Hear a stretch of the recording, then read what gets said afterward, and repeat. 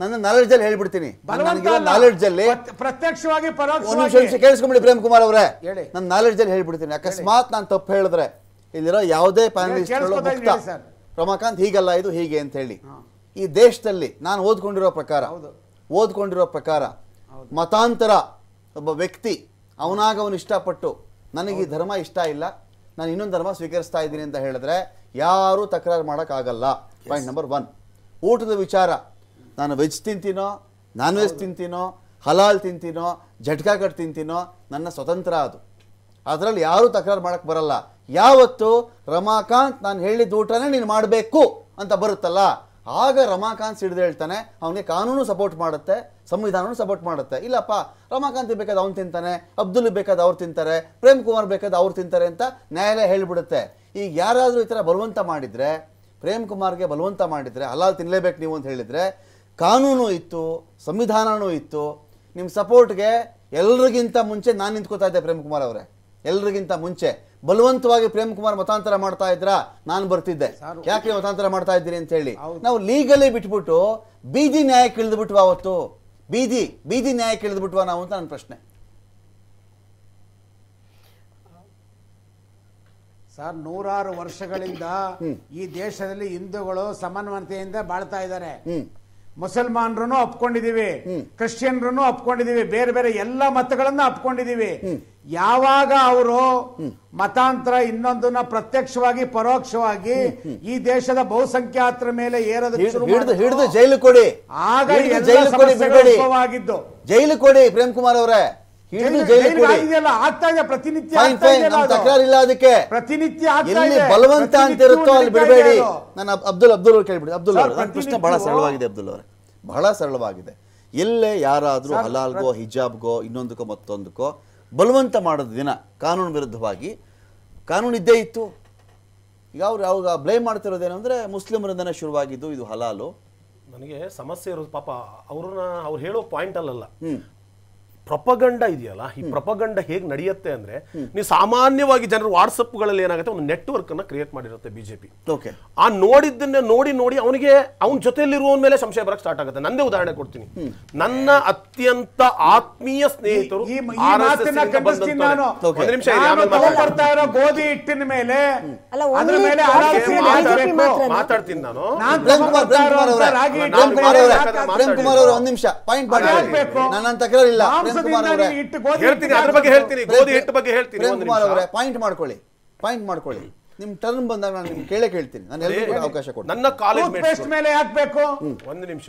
ನನ್ನ ಕಾಲೇಜ್ ಮೇಟ್ಸ್ಗಳು R S S ನವರೇ ಬೆಲ್ಟಲ್ಲಿ ಬಂದವರು ನಾವು ಒಂದೇ ತಟ್ಟಲ್ಲಿ ಊಟ ಮಾಡ್ತಾ ಇದ್ವಿ. ಓಕೆ ಓಕೆ ಎರಡ್ ಸಾವಿರದ ಹದಿನಾಲ್ಕರ ನಂತರ ನಾವು ಇರುವಂತಹ ಗ್ರೂಪ್ಗಳಲ್ಲಿ ಆತ ಮುಸ್ಲಿಂ ವಿರೋಧಿಗಳನ್ನ ಅನಾವಶ್ಯ ಎಲ್ಲೋ ತಾಲಿಬಾನಲ್ಲಿ ನಡೆಯುತ್ತೆ ಎಲ್ಲೋ ಪಾಕಿಸ್ತಾನ ಯಾಕೋ ಹೀಗೆ ಅಂತ ಕೇಳಿದಾಗ ಇಲ್ಲ ಇಲ್ಲ ನೀವು ಒಳ್ಳೆಯವರೇ.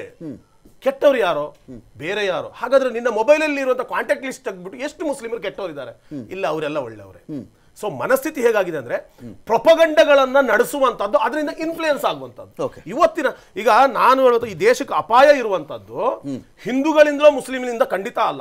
ಈ ದೇಶಕ್ಕೆ ಏನಾದ್ರೂ ಅಪಾಯ ಬರೋದಿದ್ರೆ ಧರ್ಮ ರಕ್ಷಣೆಗೆ ಹೊರಟಂತಹ ಎರಡೂ ಕಡೆಯವರಿಂದ. ಎರಡೂ ಕಡೆಯವರು ಯಾರು ಧರ್ಮವನ್ನ ರಕ್ಷಣೆ ಮಾಡಕ್ ಹೋಗ್ತಾರೆ ಆ ಧರ್ಮ ಅಷ್ಟೇನು ದುರ್ಬಲ ಧರ್ಮ ಆಗ್ಲಿಕ್ಕೆ ಸಾಧ್ಯನೇ ಇಲ್ಲ ಯಾವ ಧರ್ಮ ಆದ್ರೂ. ಧರ್ಮ ರಕ್ಷಣೆ ಹಿಂದೆ ಇರುವಂತಹ ರಾಜಕೀಯ ಅಜೆಂಡಗಳು ಈ ದೇಶವನ್ನ ಮಡೆಯುವಂತದ್ದು. ಅವಾಗ ಪ್ರಿಯತಮ್ ಗೌಡ್ ಪ್ರೀತಮ್ ಗೌಡ್ರು ಮಾತಾಡ್ತಾ ಇದ್ರು. ಆ, ಪಾಕಿಸ್ತಾನಕ್ಕೆ ಸಪೋರ್ಟ್ ಮಾಡುವಂತವ್ರು ಖಂಡಿತವಾಗ್ಲೂ ಅವ್ರು ಈ ದೇಶದಲ್ಲಿ ಇರಕ್ಕೆ ಲಾಯಕ್ಕಿಲ್ಲ ಅಂತ ನಾನು ಹೇಳ್ತೀನಿ. ಆದ್ರೆ ಈ ದೇಶದ ಮುಸಲ್ಮಾನರು ಯಾರು ಅನ್ನೋ ಅರಿವು ಅವ್ರಗಳಿಗಿಲ್ಲ. ಓಕೆ. ಜಿನ್ನ ಸಾವಿರದ ಒಂಬೈನೂರ ನಲವತ್ತೇಳರಲ್ಲಿ ಕರೆದಾಗ ನಿಮ್ಗೆ ಆಸ್ತಿ ಅಂತಸ್ತು ಕೊಡ್ತೀವಿ ಬನ್ನಿ ಅಂತ ಹೇಳಿದಾಗ್ಲೂ ಇಲ್ಲಿ ಭಿಕ್ಷೆ ಬೇಡಿ ಆದ್ರೂ ಬರ್ತೀವಿ ಬದುಕ್ತೀವಿ ಅಲ್ಲಿಗೆ ಬರಲ್ಲ ಅಂತ ಹೇಳಿರುವಂತಹ ಮುಸ್ಲಿಂ ವರ್ಗ ಇಲ್ಲಿ ಇರುವಂತದ್ದು ಜಿನ್ನನ ಮಗಳನ್ನೇ ಜಿನ್ನಗೆ ಕರ್ಕೊಂಡು ಹೋಗ್ಲಿಕ್ಕೆ ಆಗ್ಲಿಲ್ಲ. ಇವಾಗ ಯಾರಾದ್ರೂ ಪಾಕಿಸ್ತಾನಕ್ಕೆ ಸಪೋರ್ಟ್ ಮಾಡ್ತಾರೆ ಅಂದ್ರೆ ಅದು ಹಾಸ್ಯಾಸ್ಪದ. ಪ್ರೊಪಗಂಡ ಚೈನಾ ಮತ್ತೆ ಇಲ್ವೇ ಇಲ್ಲ ಅಂತ ಹೇಳ್ತೀರಾ. ಇಲ್ವೇ ಇಲ್ಲ ಅಂತ? ಹೇಳಕ್ ಬಂದೆ. ಚೈನಾ ಮತ್ತೆ ಪಾಕಿಸ್ತಾನದಿಂದ ಈ ದೇಶವನ್ನು ಒಡಿಲೇಬೇಕು ಆವಾಗಲೇ ಭಾರತವನ್ನು ಸೋಲ್ಸಕ್ಕಾಗತ್ತೆ ಅನ್ನುವಂತ ಪ್ರಪಗಂಡ ನಡೀತಾ ಇರತ್ತೆ. ಅದಕ್ಕೆ ಈ ದೇಶದ ಒಳಗಡೆ ಒಂದಿಷ್ಟು ಜನ ಬಲಿಪಶು ಆಗ್ಬಹುದು ಅದು ಆಗೋದು ಹೇಗೆ ಅಂತ ಹೇಳಿದ್ರೆ ಇವ್ರು ಹೇಗೆ ಮುಸ್ಲಿಂ ವಿಡಿಯೋಗಳನ್ನ ತೋರಿಸ್ತಾರೋ ಅವ್ರುಗಳು ಹಾಗೆ ಈ ದೇಶದಲ್ಲಿ ಮುಸ್ಲಿಮರಿಗೆ ಈ ತರ ದೌರ್ಜನ್ಯ ಆಗ್ತಾ ಇದೆ ಅಂತ ತೋರಿಸ್ತಾರೆ. ಕೆದಕ್ತಾರೆ. ಬ್ರೈನ್ ವಾಶ್ ನಡೆಯುತ್ತೆ. ಅದನ್ನ ಆಗ ಪ್ರತಿಯೊಬ್ಬ ಭಾರತೀಯ ಈ ದೇಶದ ಬಗ್ಗೆ ಅಭಿಮಾನ ಇದ್ರೆ ಅದಕ್ಕೆ ಅವಕಾಶ ಕೊಡಬಾರದು. ಎರಡು ಕಡೆಯಿಂದ ಅವಕಾಶ ಕೊಡಬಾರದು. ನಾನು ಹೇಳುವಂತದ್ದು ಪ್ರಪಗಂಡ ಬಿಡಿ. ಈ ದೇಶದ ಮೌಲ್ಯಾಧಾರಿತ ರಾಜಕಾರಣ ಮಾಡಲೇಬೇಕಾದ್ರೆ ನಿಮ್ಮ ನಿಮ್ಮ ಧರ್ಮ ಹೇಳಿರೋದು. ಹಿಂದೂ ಧರ್ಮ ಏನ್ ಹೇಳುತ್ತೆ? ಅಹಿಂಸೋ ಪರಮೋ ಧರ್ಮ ಅಂತ ಹೇಳುತ್ತೆ. ಆದ್ರೆ ಇವ್ರು ಏನ್ ಹೇಳ್ಕೊಟ್ರು? ಅಹಿಂಸೋ ಪರಮೋ ಧರ್ಮ ಪಕ್ಕಕ್ಕಿಟ್ರು ಧರ್ಮ ಹಿಂಸ ತದೈವಚ ಅಂತ ಹೇಳ್ಕೊಟ್ರು. ಬಾ ಇಸ್ಲಾಂ ಏನ್ ಹೇಳುತ್ತೆ? ಒಬ್ಬ ಒಬ್ಬ ಒಂದೇ ಒಂದು ಪ್ರಾಣಕ್ಕೆ ನೀನು ಇಂಡೈರೆಕ್ಟ್ ಆಗಿ ಅವನ ಸಾವಿಗೆ ಕಾರಣ ಆದ್ರೆ ಇಡೀ ಮನುಕುಲವನ್ನ ಸಾಯಿಸಿದಂತ ಪಾಪ ನಿನ್ ತಲೆ ಮೇಲೆ. ಅಂತ ಹೇಳುತ್ತೆ. ಇವರು ಯಾವ ಮುಸ್ಲಿಮರ ಬಗ್ಗೆ ದೂರುದು ಯಾರು ಹಿಂದೂಗಳ ಬಗ್ಗೆ ದೂರುದು ಈ ಭಾರತೀಯ ಮುಸ್ಲಿಮರನ್ನು ಅರ್ಥ ಮಾಡ್ಕೋಬೇಕು. ನಾನು ಹೇಳುವಂತದ್ದು ಭಾರತೀಯ ಮುಸ್ಲಿಮರು ತಪ್ಪುಗಳೇ ಇಲ್ಲ ಅವ್ರು ತಪ್ಪೇ ಮಾಡಿಲ್ಲ ಅಂತಲ್ಲ. ಖಂಡಿತ ಇದೆ.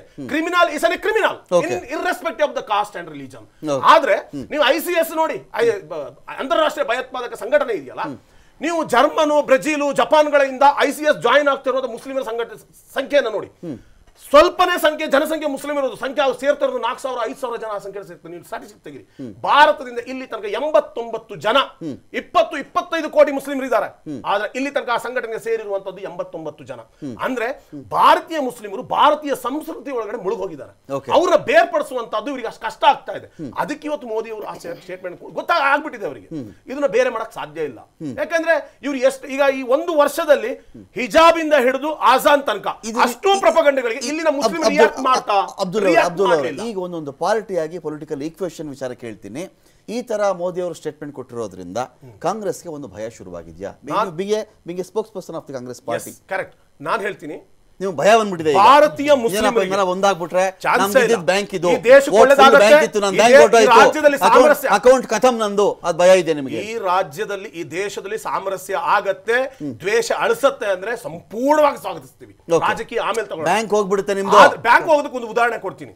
ಮುಸ್ಲಿಮರನ್ನ ಅಪ್ರಬುದ್ಧ ಮತದಾರರು ಎಫ್ ಡಿ. ಹೋಯ್ತು ರೆಕರಿಂಗ್ ಡೆಪಾಸಿಟ್ ಹೋಯ್ತು. ನಾನು ಹೇಳ್ತೀನಿ ಕೇಳಿ. ಇಂಟ್ರೆಸ್ಟ್ ಹೋಯ್ತು ನಿಮ್ದು. ಕೇಳಿಸ್ಕೊಳ್ಳಿ. ಮುಸ್ಲಿಮರು ಅಪ್ರಬುದ್ಧರು ಅಂತ ಹೇಳ್ತಾರೆ ಮತ ಚಲಾಯಿಸೋದ್ರಲ್ಲಿ ನಾನು ಹೇಳ್ತೀನಿ ಅವರು ಪ್ರಬುದ್ಧರು. ಮುಸ್ಲಿಮರನ್ನ ನೀವು ವೆಸ್ಟ್ ಬೆಂಗಾಲ್ ಅಲ್ಲಿ ನೋಡಬಹುದು ಮುಸ್ಲಿಮರನ್ನ ನೀವು ಯು ಪಿ ಅಲ್ಲಿ ನೋಡಬಹುದು ಮುಸ್ಲಿಮರನ್ನ ನೀವು ಡಿ ಎಂ ಕೆ ಸಪೋರ್ಟ್ ಮಾಡಿದಂತೆ ಮುಸ್ಲಿಮರನ್ನ ನೋಡಬಹುದು ಮುಸ್ಲಿಮರನ್ನ ನೀವು ಕೇರಳದಲ್ಲಿ ನೋಡಬಹುದು ಮುಸ್ಲಿಮರನ್ನ ಕರ್ನಾಟಕದಲ್ಲಿ ನೋಡಬಹುದು ಅವರಿಗೆ ತುಂಬಾ ಸ್ಪಷ್ಟತೆ ಇದೆ. ಅವರಿಗೆ ಬಿಜೆಪಿಯಿಂದ ಏನು ದ್ವೇಷ ಇಲ್ಲ. ಆದ್ರೆ ಇವರ ಈ ಪ್ರಪಗಂಡಗಳಿಂದ ಖಂಡಿತವಾಗ್ಲೂ ದೂರ ಇದ್ದಾರೆ.